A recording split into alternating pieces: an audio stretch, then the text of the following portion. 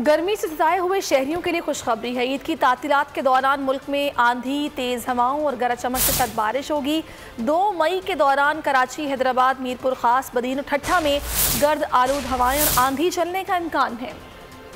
कराची वाले खबरदार अब्र रहमत बरसने को तैयार। गर्मी से सताए हुओं को मिलेगा करार। ईद उल फितर पर आंधी, तेज हवाओं और गरज चमक के साथ बारिश का इम्कान है। महकमा मौसमियात के मुताबिक यकम मई से मगरबी हवाओं का सिलसिला मुल्क के मगरबी इलाकों में दाखिल होगा। हवाओं का ये सिलसिला पाँच मई तक जारी रहेगा। बलूचिस्तान, सिंध और पंजाब के अक्सर इलाकों में बादल जमकर बरसेंगे। मौसम का हाल बताने वालों का कहना है, कराची में दो मई को तेज और गर्द आलूद हवाएँ चलेंगी। दर्ज हरारत में कमी होगी। महकमा मौसमियात के मुताबिक मुताबिक दो से चार मई के दौरान डेरा इसमाइल खान, बन्नू, लकी मरवत वजीरस्तान इस्लामाबाद, रावलपिंडी और दीगर इलाकों में भी गरज चमक के साथ बारिश की पेश गोई की गई है, जबकि गिलगित बल्तिस्तान में लैंड स्लाइडिंग का खतरा है।